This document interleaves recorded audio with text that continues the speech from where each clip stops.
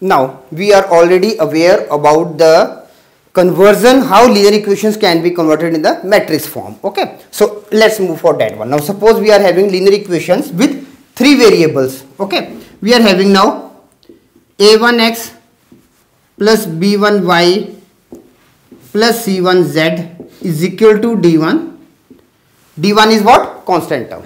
Okay? A2x plus b2y plus c2z is equal to d2 a3x plus b3y plus c3z is equal to d3 okay. Now how to write this in the matrix form? So in these can be written as the matrix form. In the matrix form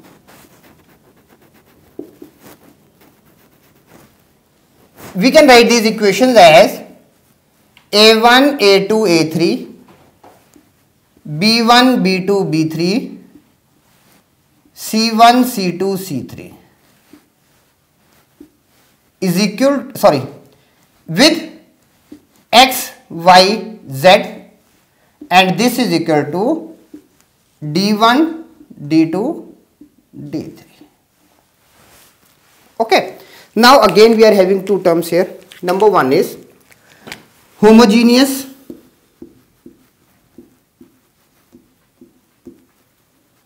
Homogeneous and non-homogeneous.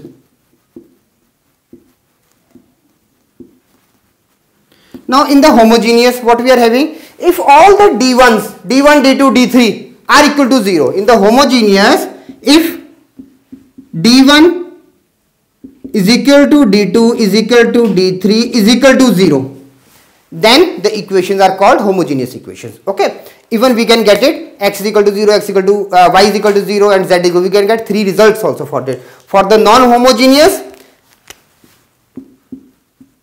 none of d1 d2 d3 are not equal to 0 or any one constant be 0 only one constant can be 0 then that are called non-homogeneous. Okay.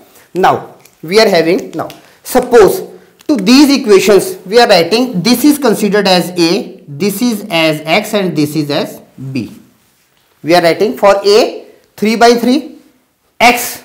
This one is 3 by 1 and b 3 by 1 okay. So all the constants all the sorry all the coefficients not constants all the coefficients are written in the matrix form that are a variables b and constant variable sorry x and constants b okay. Now if you are multiplying now a1 with x plus b1 with y plus c1 with z we are getting this part okay. A2 with x b2 with y c2 with z and addition we are getting this part. So these equations are termed as this one. Now here we are having, we can write it Ax is equal to B.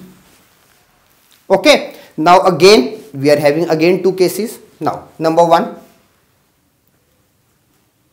case 1. If determinant of A is equal to is not equal to 0. Okay. Then what we are writing? We will be writing determinant of A is not equal to 0 therefore A inverse exists.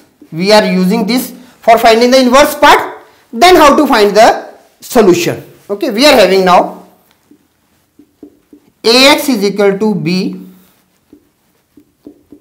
A inverse Ax is equal to A inverse B. Pre-multiplying by A inverse. Okay. Now, I with X is equal to A inverse B. Okay. So, what we have done? A inverse A is equal to identity matrix or we can write X is equal to A inverse B. Now, what is capital X? Capital X is X, Y and Z is equal to A inverse B.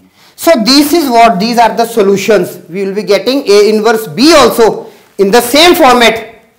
Okay? That will be 3 by 1 so the result will be first with x second with y and third with z. Now again if this was case 1 now if now here we can write it case 1 if determinant of a is equal to 0 then x is equal to then x is equal to a inverse b. First part case 2 now case 2 if determinant of a is equal to 0 then what we have to do? We have to again that is the inconsistence which we have already done it. Then what we are going to do? First of all find adjoint a with b. Okay if adjoint A and B is equal to 0 then equation has no solution.